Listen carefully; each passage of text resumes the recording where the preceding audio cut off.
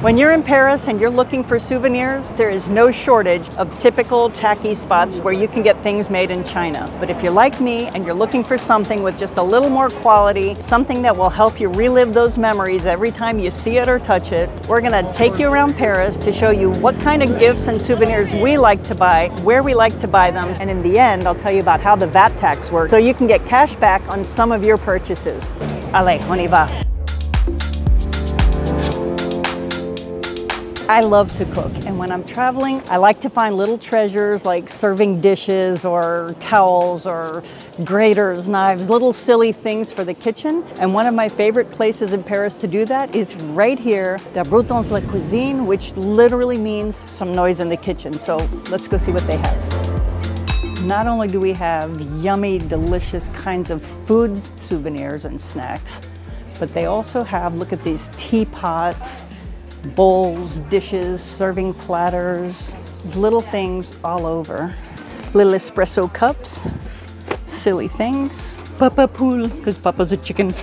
Calling someone a chicken in French is kind of a cute thing. I don't know, oh, ma poule. It's crazy to me, but it works for the French. And that is a French nutcracker, or little egg poachers for the side of the pan. You just, I never saw that in the US. But I always find silly little things here. or happy spoons. Look, you can see right through it. Check this out. These little spoons sit on the side of your cup. It's the silly little things. But every time you use this at home, you would think about your trip, you know? I bought a lot of gifts in this store. Just to cut your saucisson so I can get evenly sliced little pieces right there. That's awesome. We might need one of those.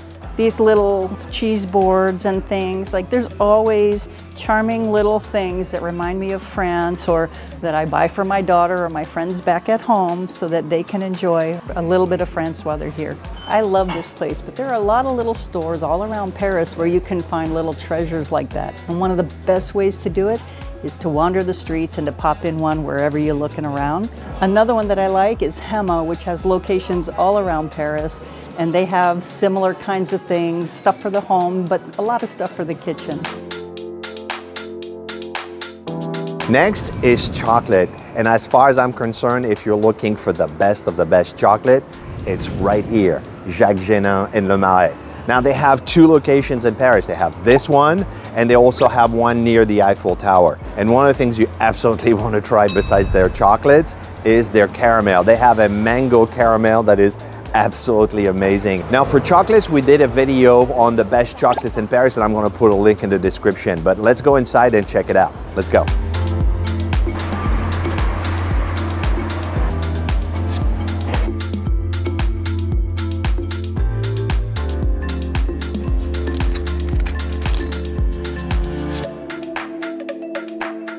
Now, one of the things about Jacques Génin is this chocolate is actually pretty pricey. It's high quality, but it's pricey. So if you're looking for a really good chocolate, but it's a little bit more affordable, you should go to À la Mère de Famille. And they have, I believe, 14 locations throughout Paris. They have one on Rue Claire, but they're basically everywhere. And that is also an amazing place if you want to bring some chocolate to the office or to some friends that are not chocolate connoisseur. If they're chocolate connoisseur, it's definitely Jacques Génin, or if it's for you, it's Jacques Génin. But if you want something a little bit more run-of-the-mill, À la Mère de Famille makes amazing chocolate at a very affordable price. Another thing I like to buy for souvenirs is clothes because when I wear those things again, I'm right back where I was having memories of my trip. And it's no secret that I like stripes. And when I'm buying striped shirts, Armor Lux is my go-to. But other than striped shirts, I like to buy fine cotton shirts and socks and scarves and all kinds of stuff. So for men's items, there's good quality stuff at stores like Cotton Doux, and you'll find those all around Paris. And believe it or not, going to a local marché is a great place to find cute little dresses and shirts and scarves and hats and things. Or you could just get lost in Le Marais with tons of concept stores and thrift shops or fripperies.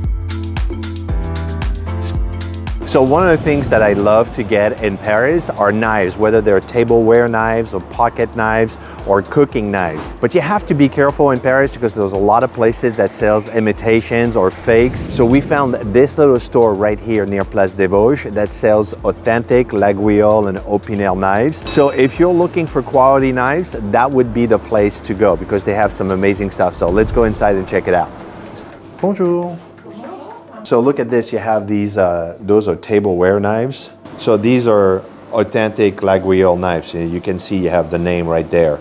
And you can recognize it here, it has the little B but even the copies actually have the little B, so you have to be careful. If there is a B, that doesn't mean it's authentic. Let me just put it that way. Six Laguiole authentic knives is $253. You know, if you see a set of six knives for 100 bucks, it's probably not the real thing, right? They have all kinds of pocket knives here with a little corkscrew, all the Laguiole authentic, like these little pocket knives and everything, they're about 150 bucks, but I'm talking about this is a high quality knife. This is really, really good stuff, those knives. I mean, that is some high quality knife. And this is the Opinel knife. This is the quintessential French boy pocket knife. Uh, I still have mine from when I was a kid, and I bought one for, uh, for my son Charlie as soon as we got here. says, you need to get yourself an Opinel. Um, this is a you know camping side, just a, um, a, pocket knife that you have in your pocket. For me, it's very uh, meaningful. Uh, all Boy Scouts. Uh, basically, I don't know many French boy that didn't own an Opinel at one point in their lives. Uh, just you know a little pocket knife that you put in your pocket. Those actually make for a great gift. And this is just 25 bucks. So uh, and it comes with a little pouch and everything. So that makes a great gift. Another thing I love to bring home as gifts or for myself is the toiletries because in France, the toiletries feel different, smell different, they just are different. I'm delighted to find little stores like this one on Rue de Rosier where all the products are made in France. They're high quality, smell amazing, and there are more stores where you can buy these toiletries and take them home. Uh, Sabon has a couple of stores around Paris. Any pharmacy will have high quality Marseille type soaps. So if you're looking for the soaps, the body scrubs, lotions, all kinds of personal products, little shops like this are amazing. And if you want to bring back some knickknacks and like some typical souvenirs of the little mini Eiffel Towers, there are stores everywhere around Paris in Montmartre or uh, Place Saint-Michel. But this little store is our favorite. It's about a block from Notre Dame in this direction. Sainte-Chapelle is one block in that direction. And it's kind of like a standalone store. But what we like about this stores is they have all the t-shirts and all the kind of stuff that someone may ask you to bring back. Like, can you bring me back a little mini Eiffel Tower and a mug that says I love Paris or I love Paris t-shirt?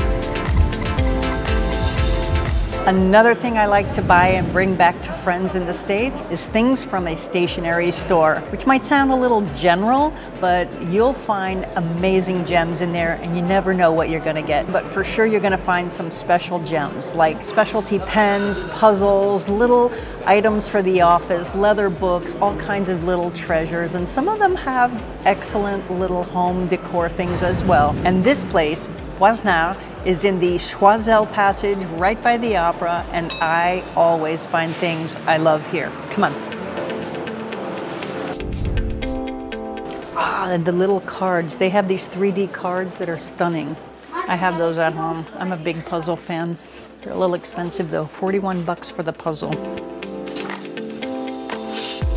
The little lock on there. But see like these little wax dip things? And then you get the stamper this one has the Eiffel Tower or your initials. Little shops like this around Paris. This is one of my top favorite and there's another one of my top favorite right by the Jacobin in Saint-Germain. It's called Grimart. That place has been around with, I mean, the floorboards are over 300 years old. So like they say Benjamin Franklin ate right around there. He probably walked on those same floors that I get to walk on.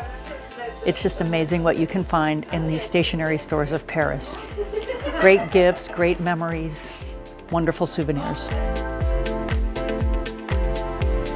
Now, if you want to bring back some macarons, there are macaron stores everywhere. Boulangerie have macarons. There's all the famous places that you've heard about.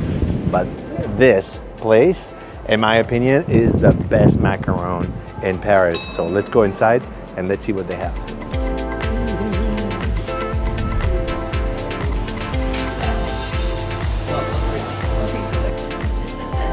Very good. Perfect.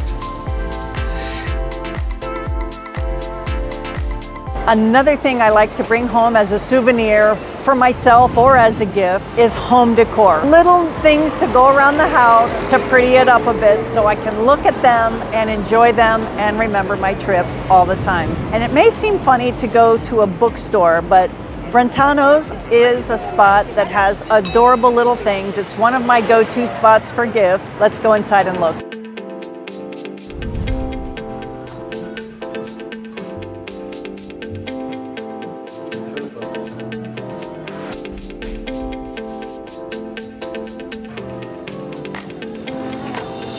And just outside of that store, you've got the opera right up the street. Pierre Hermé is next door. Cedric Grolet is right over here. And we're just up the street from the Louvre. But there's lots of little places like this that you can find all around Paris. The bouquinistes, which are the little green boxes all up and down the Seine that sell art, vintage magazines, and different kinds of things to set around your house. And one of the cool things about the bouquinistes along the Seine is that each box is an individual private seller. So these are small business owners that are out there making a living and selling unique stuff and running their own little business right there on the Seine. I love supporting them. If you want to bring back some luxury, some designer clothes with you, one of the best places to do it is at La Samaritaine right there behind me. Follow me.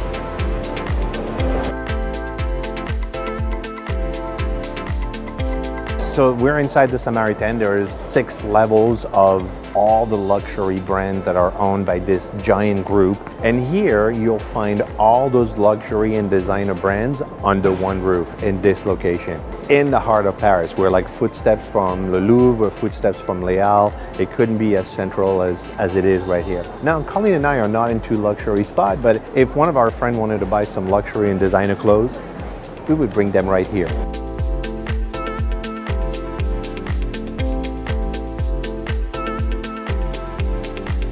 And as a bonus, we never go back to the United States before we stop at the Monoprix and pick up a few things like candies and chocolates and cookies. That will make a lot of people happy and you're not breaking the banks, but there's stuff that is unique here in France that you can get in the Monoprix that is absolutely awesome. So follow me, I'll show you. Yeah, so look at this. You got tons like Eclair de Génie, like some chocolate bars you can pick up here. They're like six euros. And then you have all kinds of other chocolates, uh, like this one, like chocolate bar for, for five euros. I mean, that is going to make someone super happy. And look at this, even in the supermarket, you could actually bring back a little Angelina chocolate right there or a box. Or look at these little Florentine or Trois Chocolats. You know, that can make someone super happy for three euros. All these, the Saint-Michel, that's perfect. The Saint-Michel with some chocolate filling here, that is a typical French cookie that is just really good. And that is just two euros. I mean, you can get three of these boxes and make quite a few friends happy. And look right here, you have some uh, big old coffee mug, Paris. Uh, you got some pencils, you got little bottles, you got a little sunglass holder. I mean, it's still a little pricey, but it's probably half of what you would pay in a tourist shop. So I'm telling you, Monoprix is a great way for you to buy tons of stuff to make a lot of people happy without breaking the bank. That's an insider tip.